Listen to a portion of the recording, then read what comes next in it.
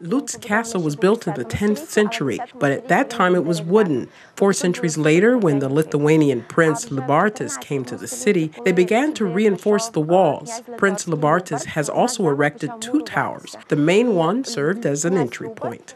Those wishing to climb the entrance tower of the Lutsk Castle, also known as Liubartas Castle, will have to conquer 112 stone steps. From the upper viewing platform, the city's old town can be seen. From the top tower, the trumpet sounds precisely at noon every day.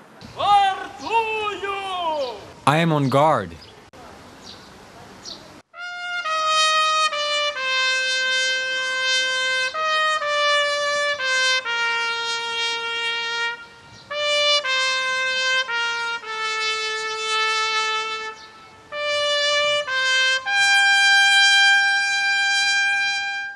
In 1429, the castle hosted European monarchs at the diplomatic gathering known as the Congress of Lutsk. Congress considered two main issues. The first one was how to protect Europe from the Ottoman Empire, the attacks of the Turks, and the second was the coronation of the Lithuanian prince Vytautas. Adele is from South Africa. She's visiting Ukraine for the first time and was keen to see the ancient structure. The printing press was extremely interesting because not many castles have a printing press. Um, the wall structure is still very much intact. We've got a proper roof. Um, the church was very interesting downstairs. And that's about that, really. There are several museums on the territory of the fortress, as well historical medieval tournaments are regularly held here. A medieval combat club has existed in Lutsk for nine years. Their reenactments bring an authentic atmosphere to the castle's visitors. Here in Lutsk, trainings take place, for instance, three times a week for two hours. Therefore, it is quite possible to obtain a serious level for participation in all Ukrainian competitions.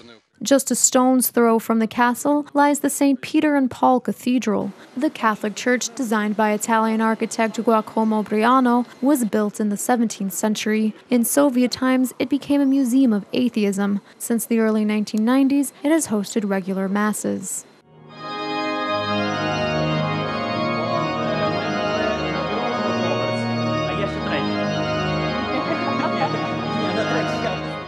Lutsk boasts what some refer to as a second castle, a building called the House of Chimeras. Its creator Mikola Holovan had been working on his pet project for almost 40 years. The building is adorned inside and out with more than 500 sculptures of beasts, birds, and mythical creatures in a variety of architectural styles, including Gothic, Renaissance, Modern, and more. I started to build a side facade in a sacral team, the Apostles. At the time in the Soviet period, they began to reproach me, claiming that the images of saints do not fit into the socialist realism. But I continued to create sculptures devoted to different topics, including erotic ones. After all, a naked woman's body is beautiful. And finally, a structure not even advertised in travel brochures.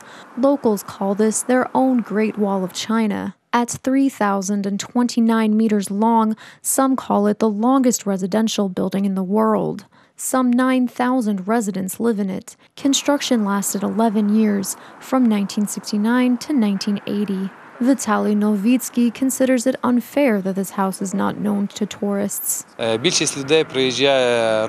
Most tourists come here to take nice photos. We want to equip photo zones on elevations where a person can have a picture taken against a beautiful background. Tourists would walk on the roof of the house in a special climbing equipment to be safe.